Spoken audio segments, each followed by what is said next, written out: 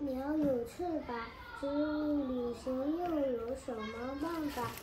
蒲公英妈妈准备了降落伞，把它送给自己的娃娃。只要风轻轻吹过，孩子们，彤彤，嗯，你都在屋里读书哈。我去市场买条鱼回来给你们做哈，好不好？字写完了的？嗯，也，还写的可以，要把它放好哈。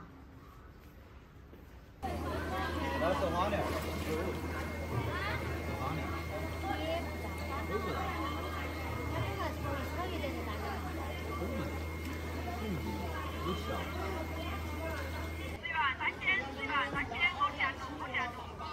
啥子鱼是？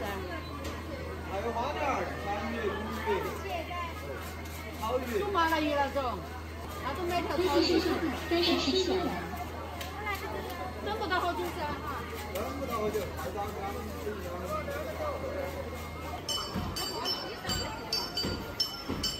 来指教吗？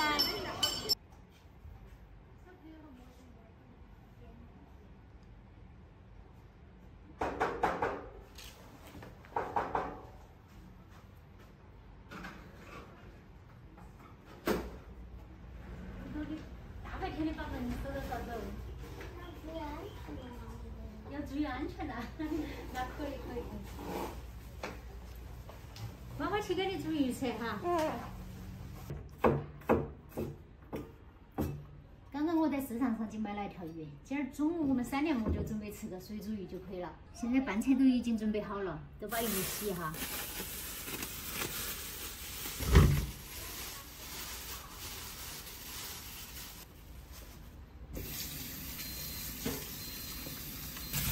把鱼冲洗干净，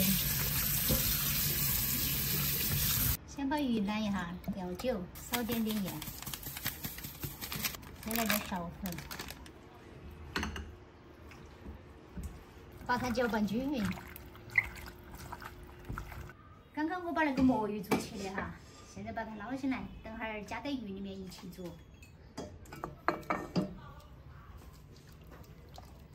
哎，这个漏勺也太小了，太迷你了。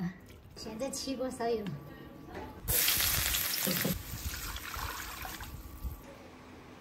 因为我买了现成的那个水煮鱼料，所以说就不用炒料了。也是为了让我们的房间没有那么大的油烟，担心那个容量不够，还是换那个锅。果然那个容量要大些。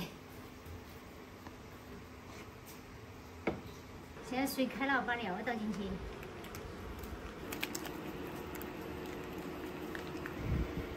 一锅麻了，锅底就是出来了。先把魔芋放进去，因为那个是最不容易入味的。然后再把鱼骨头放进去煮一煮。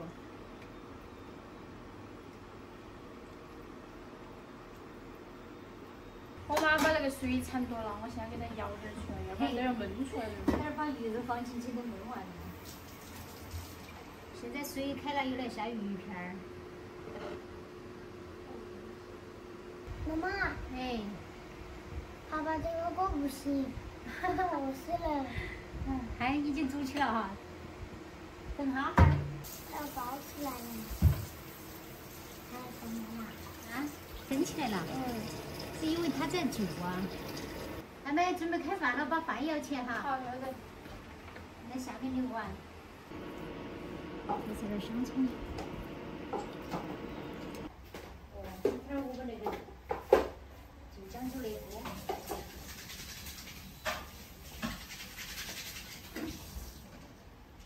妹妹，你是想爸爸了吗？你爸爸回来还没回来呀？你都把他饭也算起，我也很有习惯了。你有习惯了。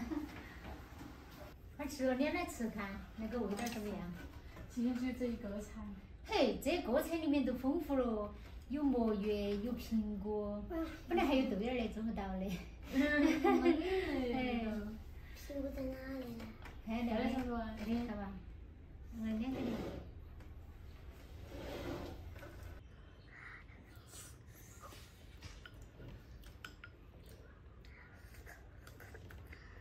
慢慢吃好烫哦。怎么样？嗯，好的。那个佐料还是可以哈。嗯。那里看嘛，那个没得吃。我呀不吃。那个够大头吧？那个排骨上的吃少。听爸爸说的，他要重新租个房子。你我嘛，我就不想另外去弄的，那行都弄得差不多了哈。嗯。就还差个油烟机。他说那行有点吵，怕把影响你们作息。刚开始那几天还不觉得哈。嗯。那后来生意越来越好了，就有点吵。像现在那些人那个精神啷个好哦，晚上都不睡觉的吗？不我们晚上不睡觉，精神都不好哈。嗯。嗯，那个睡得像猪一样？就是就他一个人不觉得吵。我们再看看嘛，等爸爸回来再商量。好的。